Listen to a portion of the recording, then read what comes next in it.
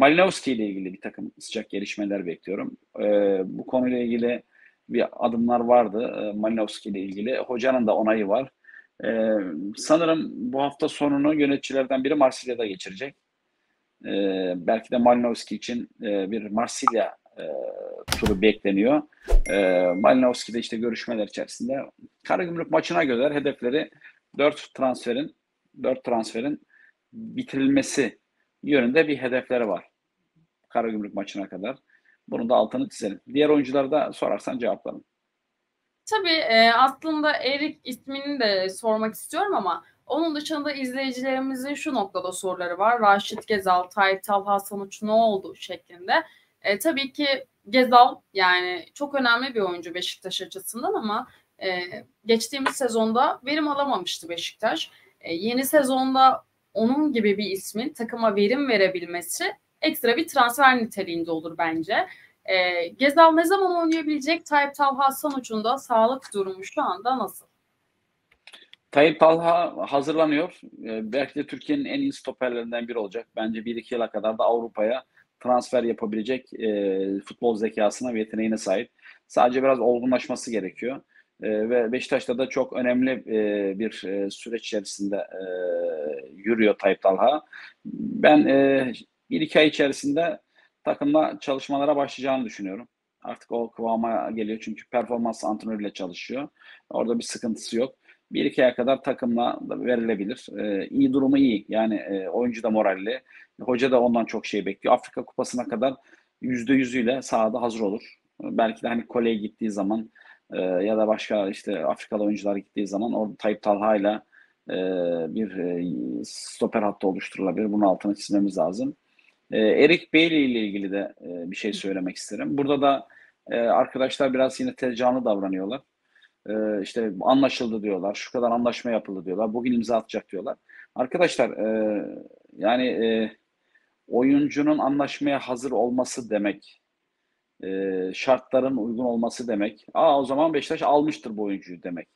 Hayır bir sürü parametre var. Yani e, ısrarla sen soruyorsun abi Erik Bey e, anlaşması olmuş işte yarın imzalıyormuş diyorsun. Ben de diyorum ki olmayabilir. O zaman ne diyeceksin?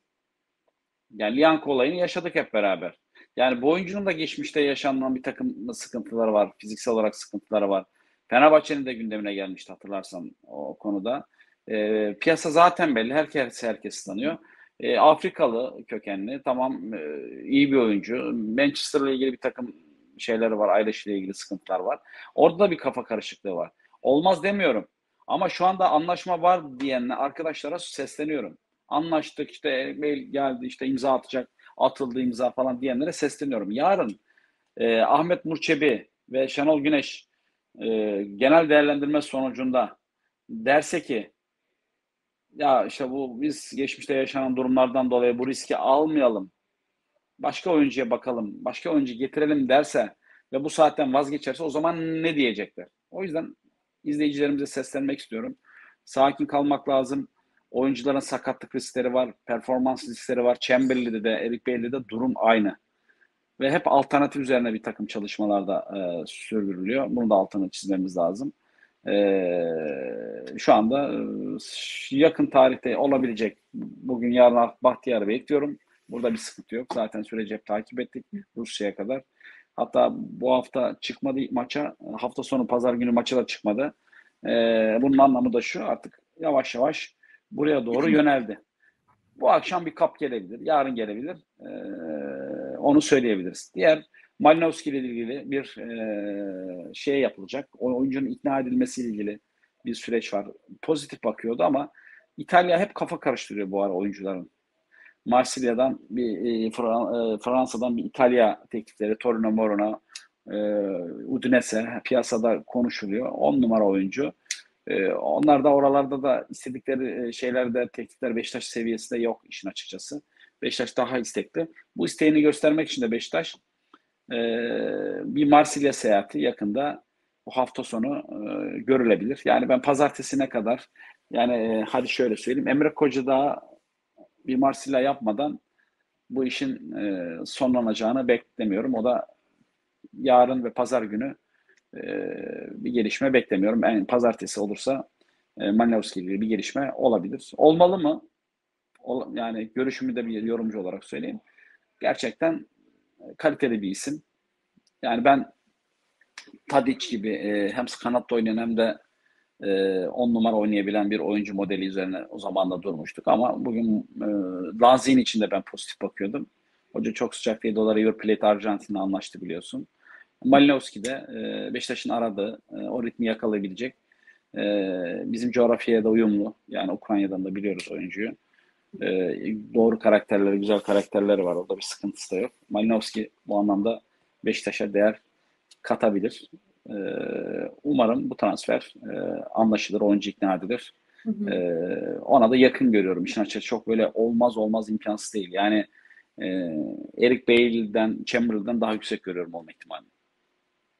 Evet aslında izleyicinin yani şöyle bir yorumlara baktığımda e, herkesin tanıyorum hemen hemen ortak fikri hep ikinci sınıf oyunculara yöneliyoruz. Sakatlık geçmişi olan oyunculara yöneliyoruz. E, bu noktada e, ne zaman biz tam asıl bir transfer yapacağız diye sormuşlar ve e, tabii ki isim olarak da soranlar var. Hakim Ziye'yi soranlar mevcut. Bir zamanlar adı geçen Nicolas Pepe'yi soranlar mevcut. Ben de size yöneltmiş olayım bu soruları. E, Hakim Ziyech ismi çok önceden gündeme gelmişti. E, ben e, o zaman geçen sene işte bu Dünya Kupası arasında da gündeme gelmişti hatırlıyorsun. O zaman sorduğumda bizim Hakim Ziyech gibi bir oyuncu modeline ihtiyacımız yok. Elimizde zaten Gezzal var. E, o, o bölgede o mevkide oynayan. Hakim Ziyech düşünmüyoruz demişlerdi. E, bu içeriden gelen bilgiydi. O tarz oyuncuya Şenol Güneş'in de çok sıcak bakacağını düşünüyorum. Aradığı daha atletik, daha playmaker oyuncu. Yani o yüzden e, elinizde şey varsa şimdi Rebic de geldi. Cenk var o bölgede oynayan. Sağda şey oynuyor. E, Gezzal var. Daha şey oyuncu istiyor. Daha böyle hoca e, çizgiye kadar inebilen atletik performans yüksek, patlama gücü yüksek bir kanat oyuncusu arıyor. O yüzden hakim şey Ziye için ben olacağını şahsen düşünmüyorum. İhtimal vermiyorum. Yani benim nazarımda şu anda yüzde bir bile değil. Yani sorduğunuz için cevaplıyorum. Beşiktaş'ın gündemini e, bence gereksiz işgal ediyor. Bunu bana zamanında sordum. Verilen cevaplara dayanarak söylüyorum. Ha, şartlar ülke değişiyor, dünya değişiyor. Başka bir şey olur. O yüzden %99 değil. O %1 her zaman açık bırakayım ama Ziyech ismi Beşiktaş'ta yok.